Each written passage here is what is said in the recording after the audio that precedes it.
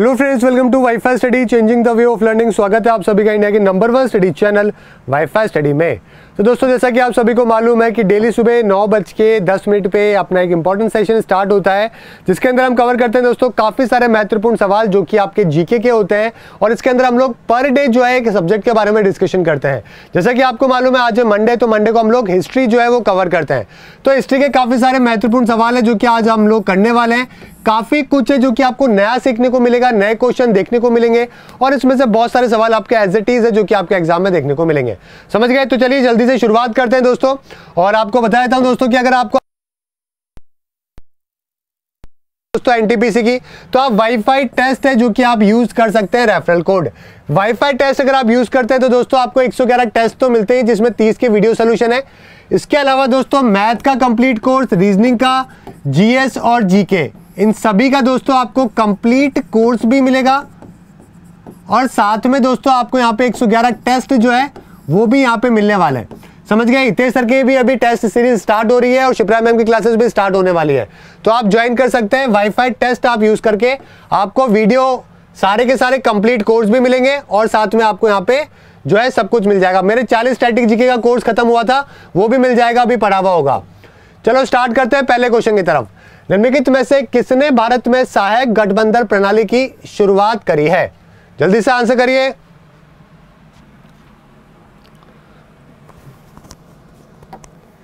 सभी बच्चे आंसर करेंगे जल्दी से।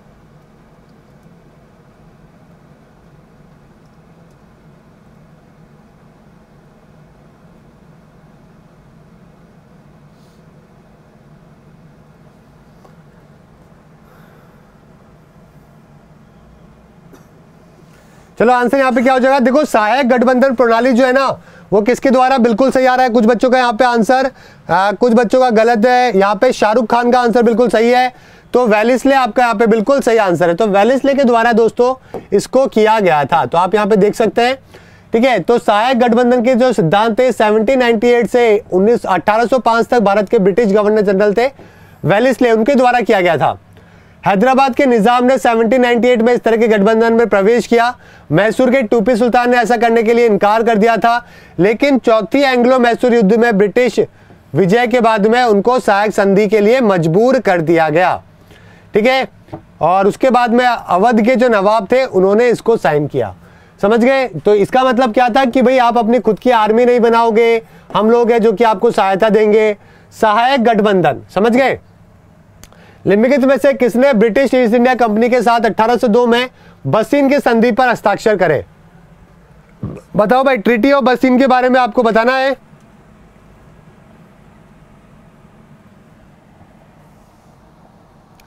या नवंबर का वन लाइनर में कल अवेलेबल नहीं करवा पाया आपको?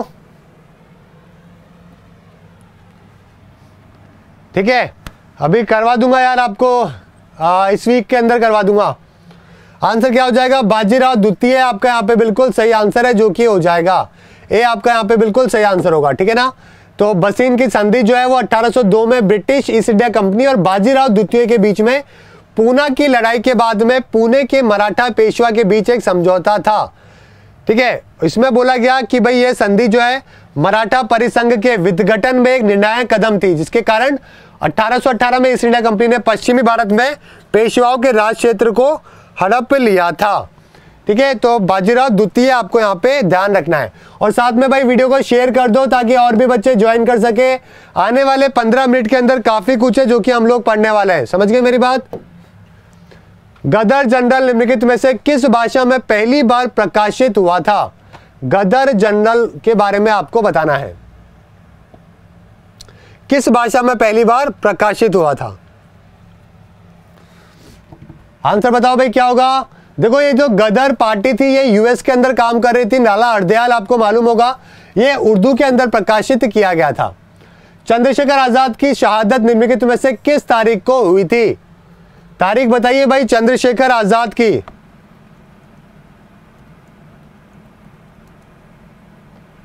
चंद्रशेखर आज़ाद के बारे में आपको बताना है।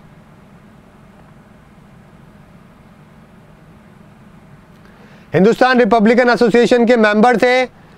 ठीक है, फिर बाद में हिंदुस्तान सोशलिस्ट रिपब्लिकन आर्मी बनी। राम प्रसाद बिस्मिल और बाकी लोगों के शहादत के बाद में।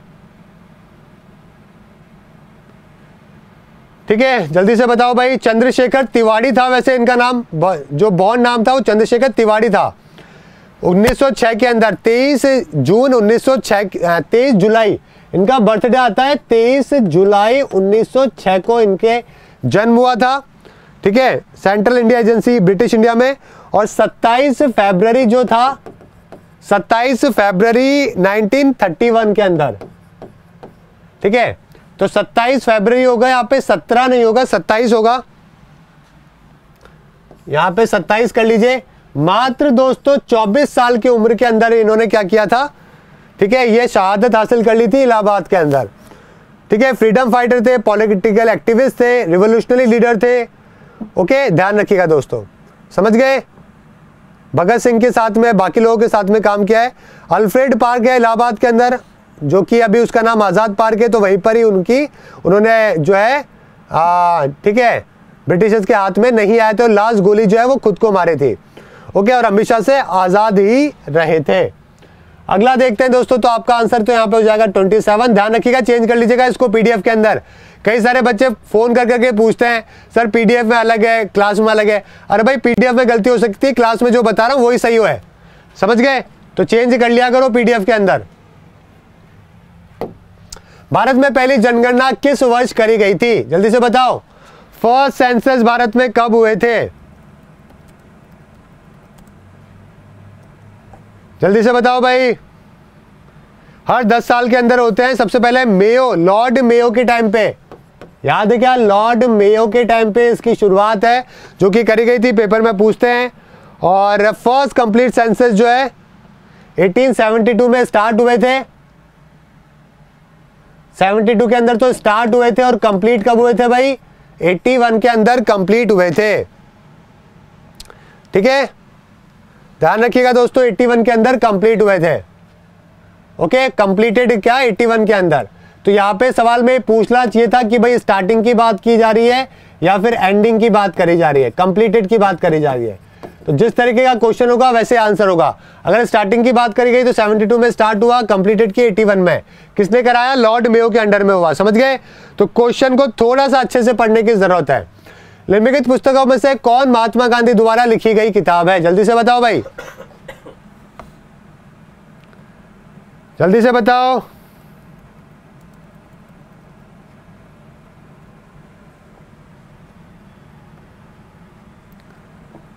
आंसर करो क्या होगा। देखो दोस्तों, कई सारे आपको नाम याद करने पड़ेंगे। ठीक है, आपने इंडियन ओपिनियन का नाम सुना होगा। ठीक है इंडियन ओपिनियन का नाम सुना होगा हरिजन का नाम सुना होगा। ठीक है यंग इंडिया का नाम सुना होगा। ऐसे कई सारे नाम है जो कि आपको याद करने हैं दोस्तों, और पेपर में जो है, वो पूछे जाते हैं। समझ गए? हरिजन की भी स्टार्टिंग करी गई थी 1933 के अंदर। इंग्लिश के अंदर इसकी स्टार्टिंग करी गई थी। ठीक है? ध्यान रखिएगा। और यहाँ पे आंसर क्या हो जाएगा आपका? हिंद स्वराज भी आपका बिल्कुल सही आंसर हो जाएगा। हिंद स्वराज भी इन्हीं के द्वारा स्टार्ट है जो कि किया गया था। ओके? ध्यान रहेगा, कोई गलती तो नहीं करोगे? इंडियन ओपिनियन बहुत बार एग्ज़ाम में आता है। हाँ बिल्कुल ठीक है। चलो, अगले सवाल की तरफ़ चलते हैं। साथ में वीडियो को शेयर कर दो। अगर शेयर नहीं किया तो अभी तक व्हाट्सएप पे ग्रुप में 1953 में किसकी अध्यक्षता में पहला ओबीसी आयोग गठित किया गया था? पहला ओबीसी आयोग फ़र्स्ट ओबीसी कमीशन फॉर्म जो है, वो किसकी अंडर में किया गया था, ये आपको बताना है।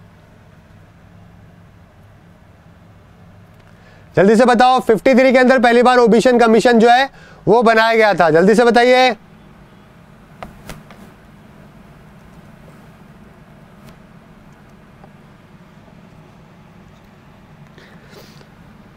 National commission for backward class, एक कॉन्स्टिट्यूशनल बॉडी है। 123वां कॉन्स्टिट्यूशनल अमेंडमेंट बिल था 2018 में लाया गया। और बदलाव कौन सा था? 102वां कॉन्स्टिट्यूशन अमेंडमेंट एक्ट के द्वारा इसको संवैधानिक किया गया। समझ गए? ये तो हो गया हमारा करंट अफेयर की सवाल। आर्टिकल 338 बी के अंदर जो है, इसके बारे में लिखा हुआ है। आर्टिकल 338 बी के अंदर। ठीक है, ध्यान रखिएगा इस बात को। Ministry of social justice and empowerment के अंडर में पहली बार जब ये बनाया गया था दोस्तों, ठीक है, तब ये था काका केलकर। काका केलकर के अंडर में इसको बनाया गया था, समझ गए? अभी सोशल जस्टिस एंड एम्पावरमेंट मंत्रालय के अंडर में कौन है मिनिस्टर थावरचंद गहलोत मिनिस्टर है। National commission for backward class की स्थापना कब हुई थी भाई? 1993 में हुई थी। पहली बार जो शुरुआत हुई थी वो तिरपन में हुई थी। उस टाइम पे जो है वो ये थे। ठीक है, मैंने आपको बता दिया। अगला सवाल है आपका, जलियावाला बाग में हुए नरसंहार से ठीक पहले निम्नलिखित में से कौन सी घटना घटी थी? जल्दी से बताइए। जल्दी से बताइए कौन सी घटना है जो कि घटी थी?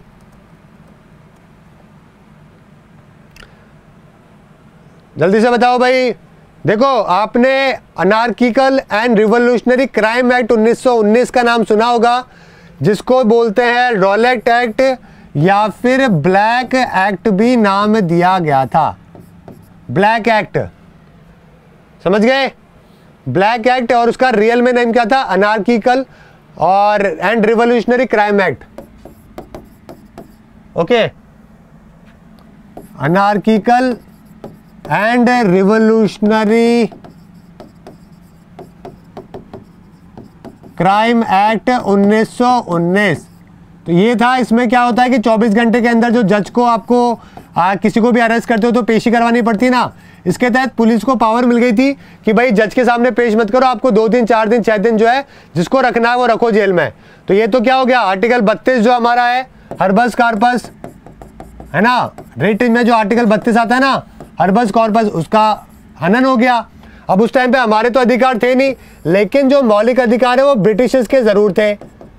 ब्रिटिशर्स के थे और ब्रिटिशर्स के जो कानून था, वो सभी उनकी कॉलोनियों में लागू किया करता था। तो भारत पे भी लागू करेगा, मौलिक अधिकार होंगे तो उसमें से ये वाला अधिकार बहुत ज़रूरी था। तो गांधी जी भाई थे, वकील आदमी, उन्होंने बोल दिया, ये तो गलत है। समझ गए, और उसके खिलाफ क्या दिया, धरना प्रदर्शन किया। और उसी के बाद में क्या हुआ? ठीक है, जलियावाला बाग मैसाकेर आपको मालूम है। ठीक है, उसी के बाद में जलियावाला बाग मैसाकेर जो है, वो अमृतसर के अंदर हुआ। ठीक है? मार्च 2019 के अंदर जो है ये इफ़ेक्ट के अंदर आ गया था रॉयलेट एक्ट पंजाब के अंदर प्रोटेस्ट चल रहा था। 10 अप्रैल को दो लीडर थे, सत्यपाल और सफरुद्दीन खिरचू। उनको अरेस्ट कर लिया गया सीक्रेटली और बिन बताए किसी को धर्मशाला उनको लेके चले गए। ठीक है? और उसी के प्रोटेस्ट में कुछ लोग जो है अमृतसर के अंदर भी प्रोटेस्ट कर रहे थे। और साथ ही जलियावाला बाग के अंदर तो क्या चल रहा था? कि जो आपको मालूम है बैसाखी का फेस्टिवल था तो उसका वहाँ पे क्या चल रहा था?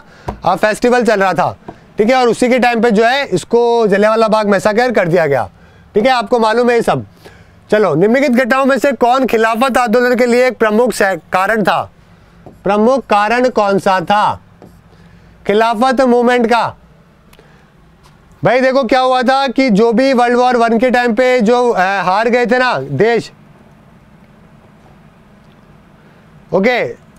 और ब्रिटिशर्स के खिलाफ जो है, आपको मालूम है, टर्की के जो है, ये लोग हार गए थे।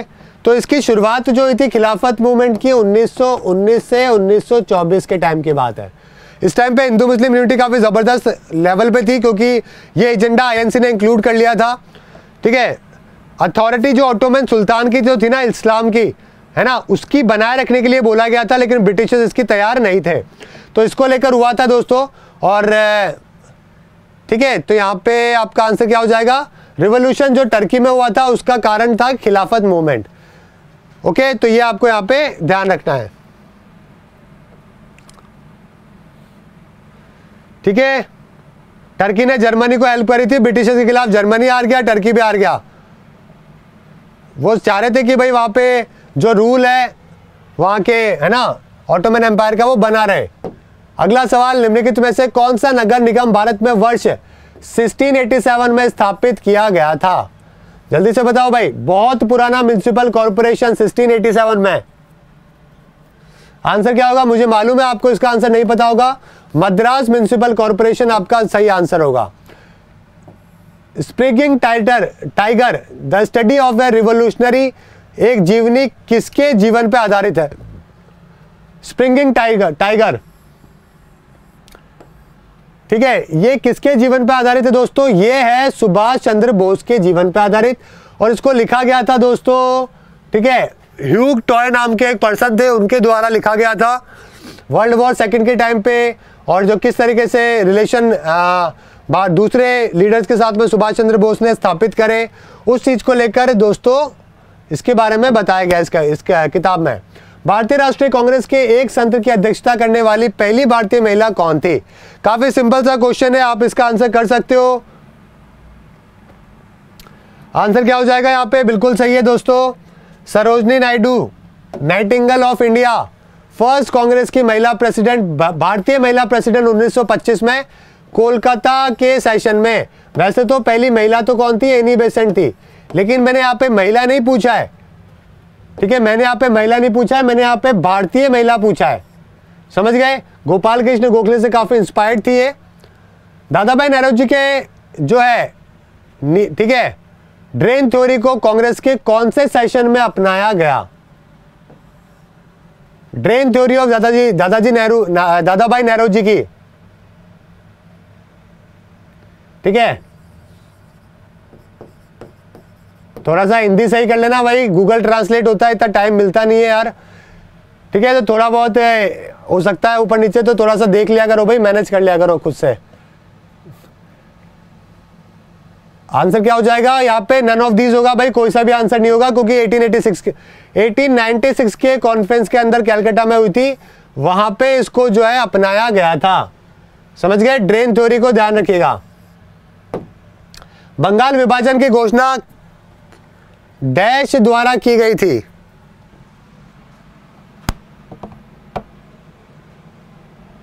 आंसर क्या हो जाएगा यहाँ पे? बंगाल विभाजन की दो, दोस्तों देखो वैसे तो कर्जन ने स्टार्ट किया था लेकिन इसकी जो काम किया था वो हार्डिंग के टाइम पे पूरा हुआ था। हार्डिंग का जो टाइम था वो 1910 से 1916 के टाइम पे था। ठीक है इसके टाइम पे दिल्ली दरबार हुआ कैपिटल शिफ्ट हो गई बॉम्ब इसके ऊपर फेंका गया लेकिन ये बच गया। गांधी जी जो है वापस आए एनी बेसेंट जो है ने होम रूल मूवमेंट अनाउंस किया।